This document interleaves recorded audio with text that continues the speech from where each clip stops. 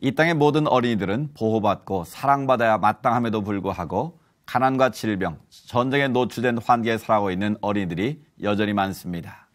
이런 환경 어린이들을 돕고 있는 국제 구호개발기구 월드비전에서는 이달부터 엄마의 마음으로 하는 기도 캠페인을 벌이는데요.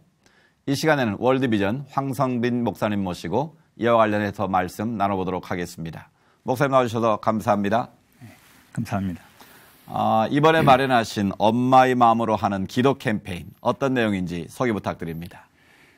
네, 저희 이번에 준비한 엄마의 마음으로 하는 기도라는 캠페인은 어, 저희 월드비전 사역에 있어서 굉장히 중요한 그런 한 부분입니다. 네. 어, 월드비전의 다양한 사역을 통해서 저희들은 아동의 신체적, 경제적, 또 정서적, 사회적 변화를 추구하는데요. 그 가운데 네. 빠지지 않는 것이 영적 변화를 목표로 하고 있다는 것입니다. 네. 어, 영적 변화를 이루는 데 있어서 기도는 굉장히 중요한 요소이기 때문에 저희의 이런 사업 캠페인 또 가운데에서 이런 기도가 차지하는 그런 비중은 굉장히 크다고 볼 수 있는데요. 어, 그 가운데에서 매년 5월 이제 특별히 다양한 우리 아동들을 위한 엄마의 마음으로 하는 기도라는 캠페인은 또 중요한 의미를 갖는다고 볼 수 있겠습니다. 네. 어, 특별히 이 캠페인이 좀 특별한 점은 서아프리카 지역의 네. 엄마들이 자신의 자녀들을 위해서 기도하는 그런 작은 모임으로부터 시작되었다는 것입니다. 당시에 이제 서아프리카 지역에는 전쟁이나 기근으로 인해서 많은 아이들이 고통을 당하고 있었는데요. 네. 그 자녀들을 위해서 특별한 것을 해줄 수 없었던 어머니들은 모여서 기도를 하기 시작했습니다.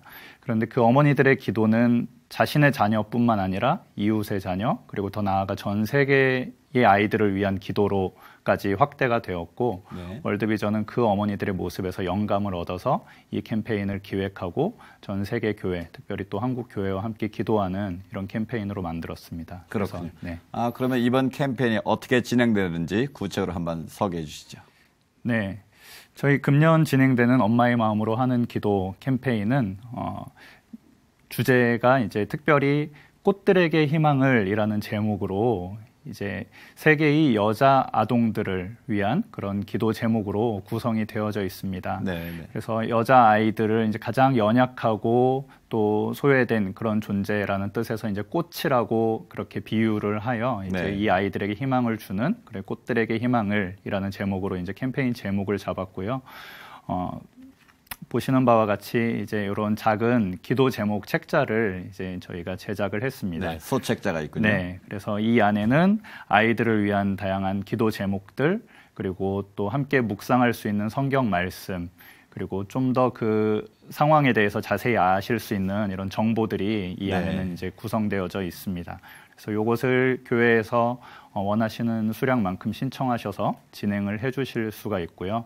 어, 이와 더불어서 저희가 좀 늘 매년 준비하는 것은 이제 기도 이후에 네. 함께 참여할 수 있는 이런 프로그램을 담고 있다는 아, 것입니다. 참여할 수 있는 프로그램까지. 네, 그렇습니다. 네. 그래서 기도하신 우, 이후에 이제 아이들을 도울 수 있는 이런 참여 프로그램이 있는데요. 어, 금년에는 이제 이 아프리카의 여아들 현재 상황에서 가장 시급한 필요가 이 생리대 아, 부분입니다. 그렇군요. 네, 저희들에겐 굉장히 생소하고 낯선 이런 주제인데 사실 이 아프리카 현지의 아이들은 생리대를 구입해서 사용할 수 있는 이런 여건이 되지 않는 상황 속에서 아이들이 지속적으로 활용할 수 있는 이런 면 생리대가 네. 필요합니다. 그래서 저희 월드비전에서는 이제 이 면 생리대를 만들 수 있는 이런 키트를 이제 만들어서 우리 교회가 기도 이후에 또 함께 참여하실 수 있도록 이렇게 소개해드리고 있습니다. 그렇군요. 네. 어, 앞서 잠시 언급해 주셨습니다만 우리나라에도 취약계층의 어린이들이 많이 있지 않습니까? 네. 근데 특별히 이 분쟁 지역이나 난민촌 가운데 있는 어린이들의 상황은 특별히 더 열악할 것 같은데 어떻습니까? 네, 그렇습니다. 말씀해 주신 것처럼 사실 어떤 재난 현장이나 이런 전쟁의 현장에서 가장 취약한 대상은 바로 아동이라고 말할 수밖에 없을 것입니다. 이제 네. 스스로를 지킬 힘이 없는 이 아이들은 그곳에서도 제일 약한 그런 위치에 처하게 되는데요.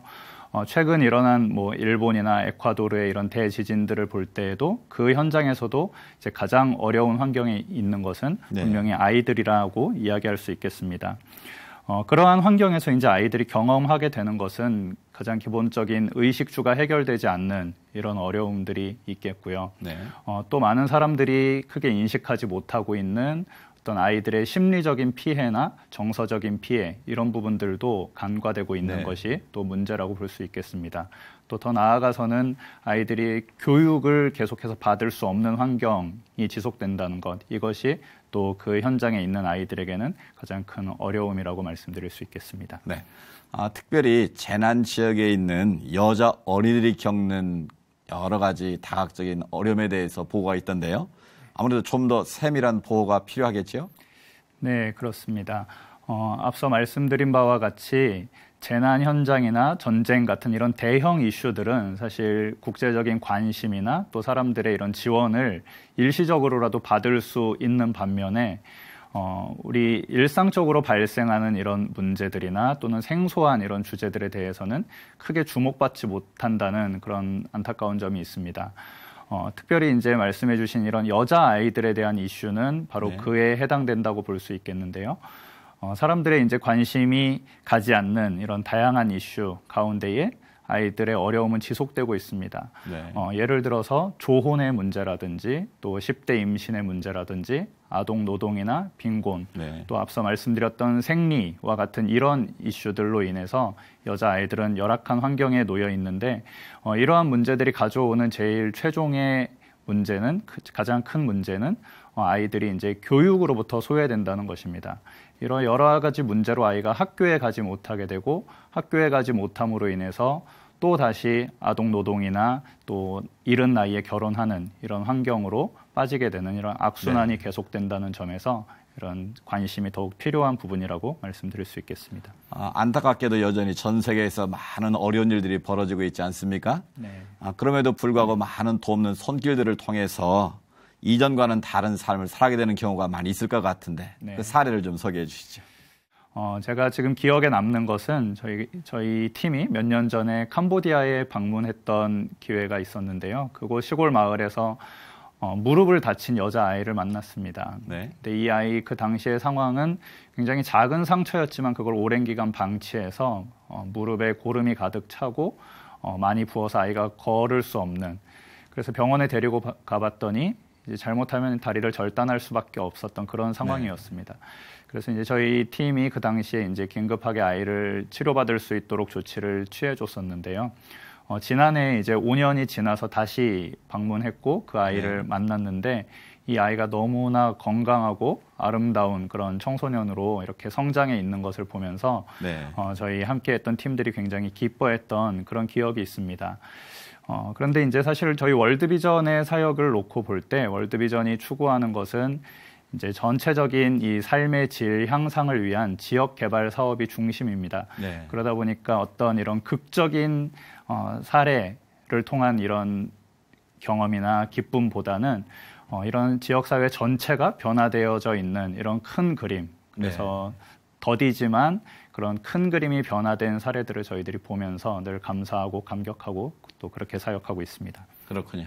아, 마지막으로 이 캠페인에 어떻게 참여하면 되는지 설명해 주시고 또 향후 비전도 좀 같이 말씀해 주시죠. 네. 제가 이 엄마의 기도 캠페인을 소개하러 가끔 교회를 방문해서 목사님들께 설명을 드리면 어, 굉장히 낯선 주제 때문에 네, 생소해 하시고 놀라시는 분들이 계십니다. 그래서 어떻게 이런 것까지 기도하느냐라고 이야기해 주시는 분들이 계신데요.